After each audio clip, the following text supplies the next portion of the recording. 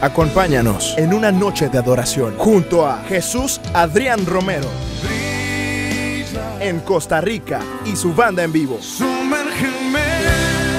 Sábado 30 de marzo, Estadio Carlos Ugalde de San Carlos, 7 de la noche.